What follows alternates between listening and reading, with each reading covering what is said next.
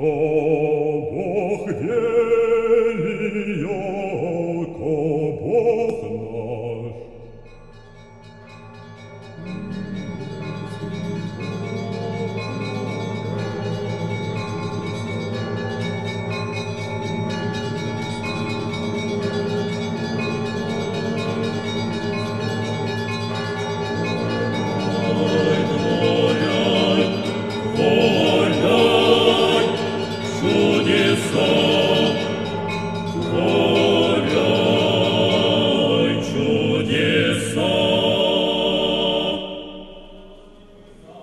Ось, друже, ми з тобою, милістю Божою, зустріли успіння Божої Матері, дивовижне і таємниче свято. А напередодні успіння, правлячи архієрей Миколаївської єпархії митрополит Миколаївський та Очаківський високопреосвященніший Пітірім відзначав День Хіратонії. 23 роки тому, 26 серпня, владика Пітірім став єпископом. Відбулась його єпископська хіратонія, яку здійснили митрополит Київський і всія України Володимир та єпископи Херсонський Іларіон і Білоцерківський Іполіт. Рік по тому владика Пітірім очолив Миколаївську та Вознесенську єпархію. Початком його діяльності на Миколаївщині був час, коли практично усе довелось починати з нуля. Не було навіть приміщення для єпархіального управління. А сьогодні Миколаївська єпархія під керівництвом митрополита Пітіріма справжня цитадель духовного життя області з могутніми форпостами монастирів Свято-Михайлівським жіночим і Свято-Константинівським чоловічим. Будь-який керівник відповідає за своїх підлеглих, а владика Пітірім відповідає за всю свою паству перед Богом.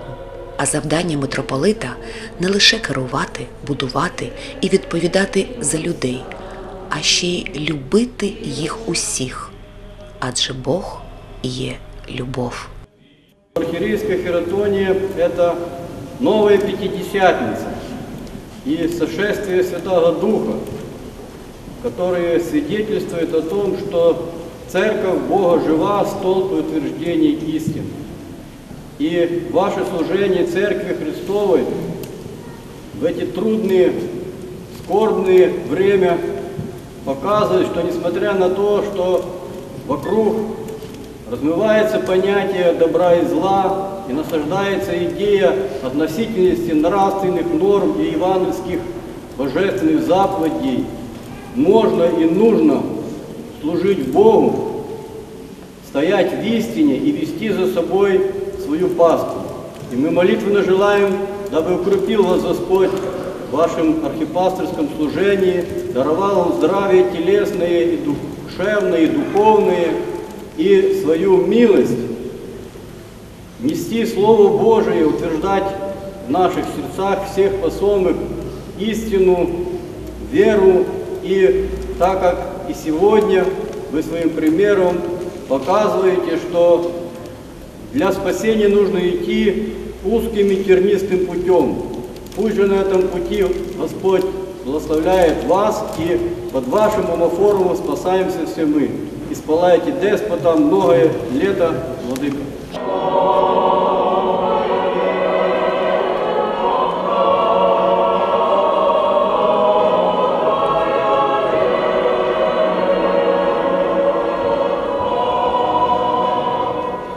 Сердечно благодарю всех пришедших помолиться. И буду всегда со псалмопевцем говорить одно и то же. Работайте, Господи, со страхом и радуйтесь Ему с трепетом, потому что Господь близ нас. Когда мы стоим перед живым Богом и чувствуем, что есть Бог истинный, покрывающий, охраняющий и направляющий нас своим премудрым промыслом по спасению, ничто не страшно, потому что всегда мы живы в Боге. Бог всегда есть жизнь. И поэтому дай Бог, чтобы мы благодарили Бога в этот день за все Его благодеяния. Пою Богу моему, донде же есть. С праздником вас, дорогие братья и сестры.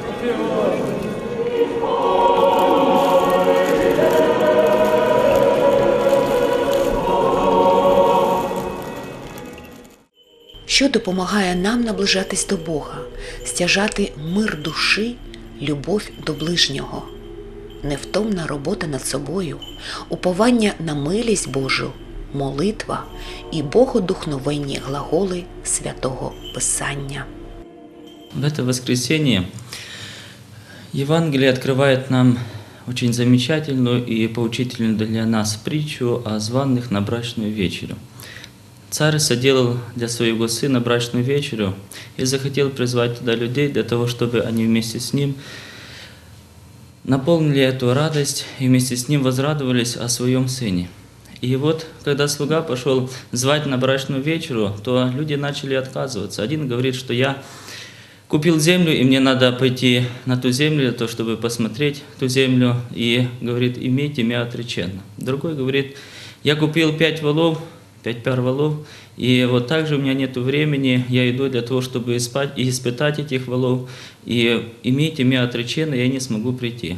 Третий говорит, я женился, и у меня нет времени для брачной вечери, также имейте меня отреченно.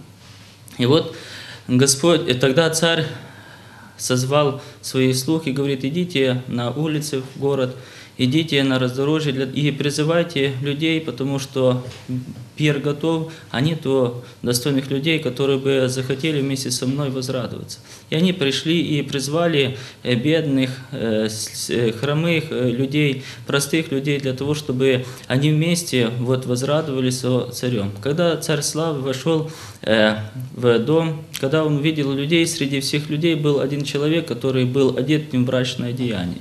И вот он спрашивает, почему ты одет не в брачное одеяние?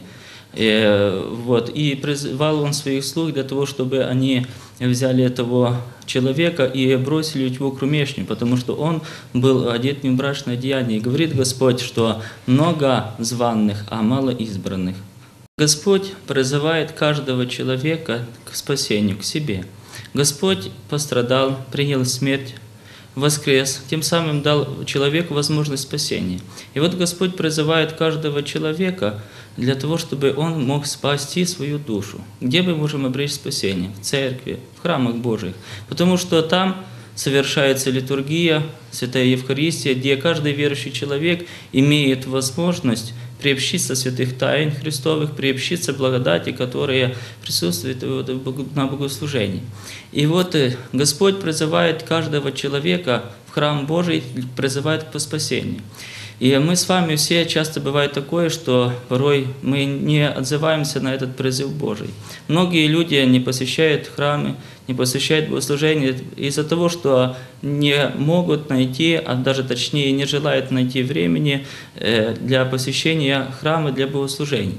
Многие э, заботятся о житейских своих проблемах, о житейских своих нуждах, э, дела работы. Много по лености своей не посещают богослужение, считают, что они целую неделю работали, трудились, и в воскресный день они могут э, отдохнуть, могут э, э, полежать, расслабиться, но они забывают о том, что самое главное, что есть в житейск- что есть в человеке, это душа, она является вечной.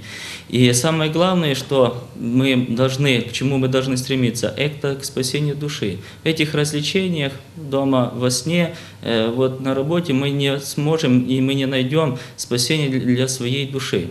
Господь говорил, что ищите вначале Царствие Божие, прежде Царствие Божие, а все остальное приложится. Мы с вами должны в своей жизни Вначале искать Царствие Божие, то есть то, что назидательно, то, что спасительно для нашей души. А все остальное, то есть земные блага, то, что нужно человеку для пропитания, для жизни, Господь все пошлет. Мы с вами должны стремиться в храм идти сейчас, храм идти сейчас, не откладывая на потом. Многие бывает считают, что э, вот сейчас мы молоды, сейчас не то время, придет старость, тогда мы будем больше молиться, больше будем посещать богослужения, э, при- причащаться и тому подобное. Но кто дар- дал нам гарантию то, что мы можем дожить до старости? Если человек, даже если человек и доживет до старости, если он всю молодость, свою, все свои дни жизни пребывал в грехе, пребывал э, вот в веселье, э, то мало имоверно того, что он потом на старости придет в храм и будет возносить свои молитвы. Э, Тот человек, который пришел в небрачном одеянии, он был изгнан.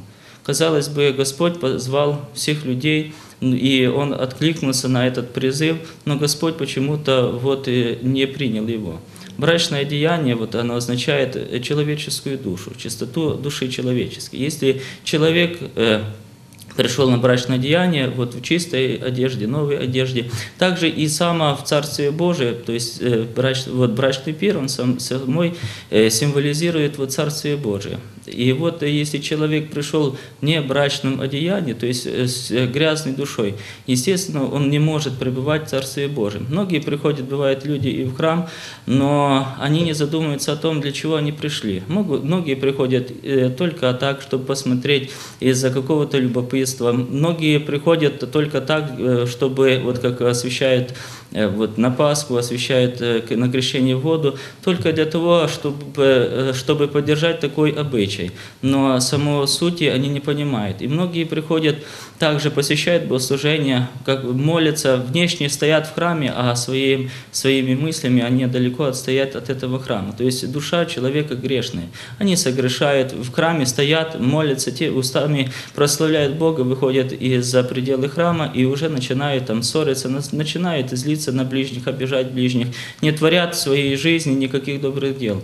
И вот э, и такие люди, они не могут э, унаследовать Царствие Божие, потому что они не готовы. Хоть они и последовали, хоть они вот и посвящают богослужение, внешне, да, они присутствуют в храме, но внутренне сердцем они далеко стоят, отстоят от Бога и творят беззаконные дела. Господь зовет, придите ко мне все труждающиеся и обременения, и я успокою вы. Я вам дам утешение, успокоение для вашей души.